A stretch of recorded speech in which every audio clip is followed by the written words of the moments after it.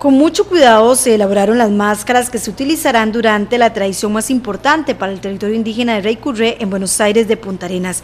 Se trata del tradicional juego de los diablitos, que se llevará a cabo del 25 al 28 de enero. La actividad está a cargo de la Asociación de Desarrollo Indígena de la localidad. Esta es la festividad cultural más importante del año que rememora precisamente las luchas rebeldes que tuvieron sus antepasados ante los procesos de conquista sucedidos hace más de 525 años.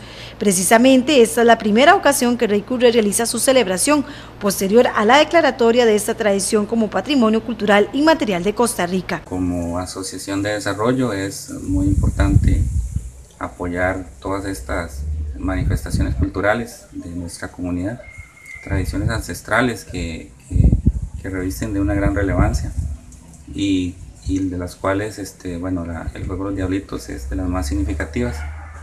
Este, precisamente esta declaratoria de patrimonio cultural y material viene a, reforzar todas esas iniciativas, viene a reafirmar la importancia que tiene para nuestro pueblo, para nuestra cultura y para nuestro país.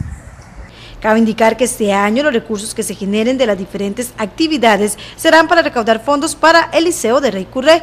Según informó la asociación, se creó una comisión integrada por padres de familia para trabajar y recoger fondos durante estos tres días para mejorar la estructura, luego de las grandes afectaciones que se tuvieron tras el paso de la tormenta tropical Ney.